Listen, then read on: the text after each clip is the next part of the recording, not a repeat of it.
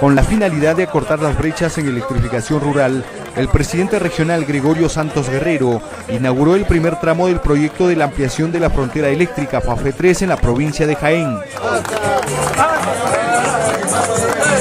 Miles de pobladores de los caseríos de Valsillas, Nuevo Moreno, El Arenal y Palo Blanco se dieron cita en la localidad de Sargento Lores para participar de este importante evento inaugural.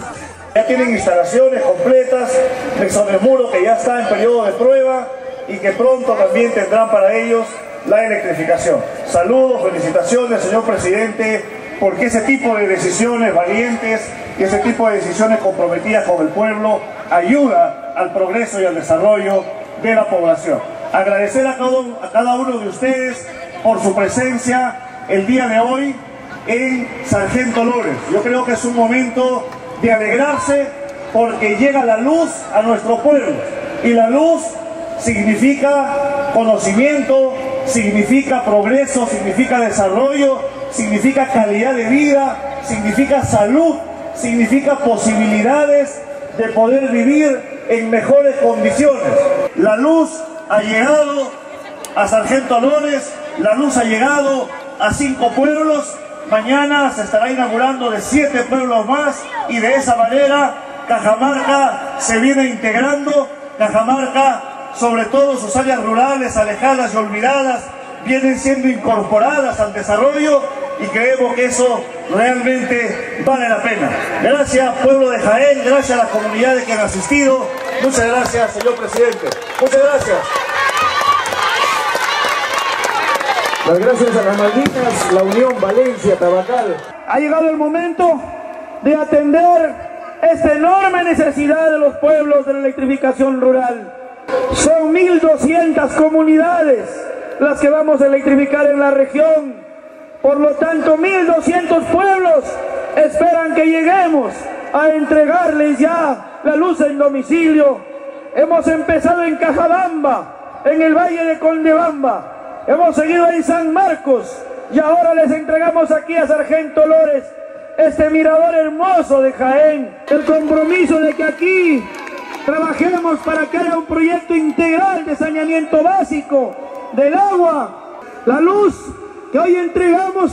Quiero que me permitan decirles a la juventud, acá los compañeros de la Universidad Nacional de Jaén, luchadores de su centro federado, que necesitamos la luz no solo para ver televisión, necesitamos la luz no solo para ver la novela, necesitamos la luz para que nuestros hijos puedan tener acceso a la computación, a la informática, al internet, porque ahora ya los conocimientos ya no vienen en toneladas de papel, en camiones de libros, ahora los conocimientos están en la nube, están en un dispositivo pequeño en un satélite y requerimos allí que en ese colegio que se construya en San Juan de Dios en los próximos años tenga todo el implementado para tener acceso al internet. Y es una lucha que venimos haciendo. Tener energía, pero también tener internet. Que la fibra óptica que va a llegar a, la, a todos los rincones de la patria permita llegar también a la casa, al hogar, a la escuela, a la universidad y poder tener de verdad la biblioteca virtual. Como muchos lo han dicho, este proyecto es una lucha de años. Esta energía eléctrica es una lucha de muchos años.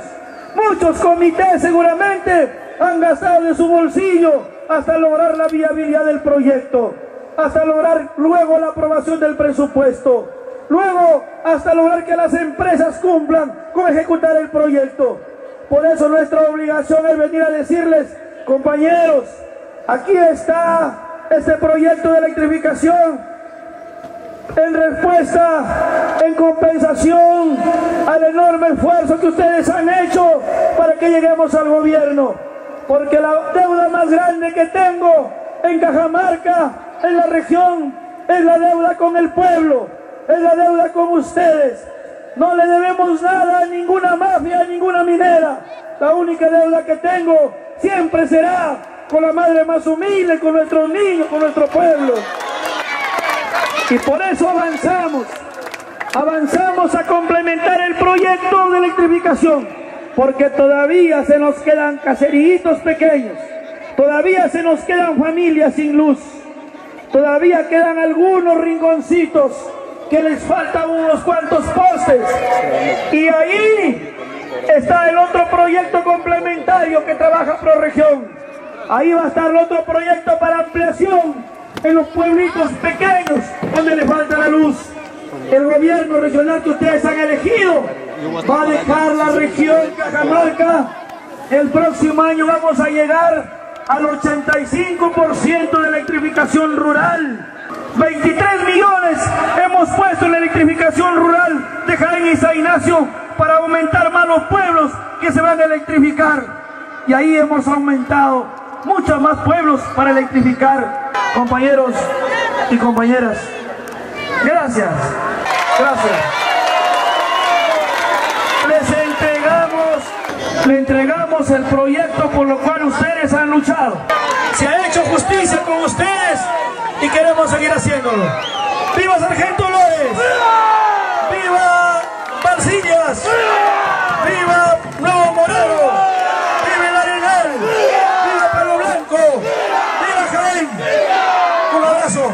Que Dios te lo bendiga y seguimos para adelante. El gerente de la subregión Jaén informó que además de los proyectos de electrificación, también vienen ejecutando diversas obras en beneficio de la población más necesitada. Algunos de los proyectos que ya se vienen en marcha, la institución educativa Ramón Castilla Marquesado, un proyecto de 7 millones de soles que ya estamos ejecutando su expediente técnico y ojalá el próximo año con todos los recortes presupuestales nos permita de todas maneras poder sacar adelante esta importantísima institución educativa de la zona urbana de nuestra ciudad. Ahí tenemos a los compañeros de San Juan de Dios, que ya se les hizo la, la donación del terreno a cargo del compañero Jaime González en Agricultura, para que Sanja Honda, y justamente ahí está el pedido, que Sanja Honda quiere tener su colegio.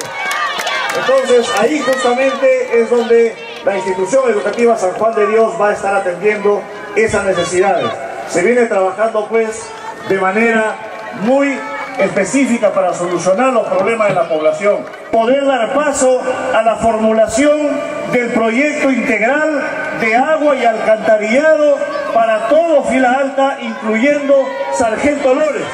Así que estamos buscando permanentemente la solución de este problema y creemos nosotros que ahora prácticamente podemos decir ya estamos encaminados para poder tener en el menor breve plazo posible el agua y el alcantarillado integral como solución propia de Sargento Lores y de fila alta. Para fines del 2014, el gobierno regional Cajamarca tiene como objetivo que el 85% de la población cajamarquina cuente con luz eléctrica en sus hogares. Thank you.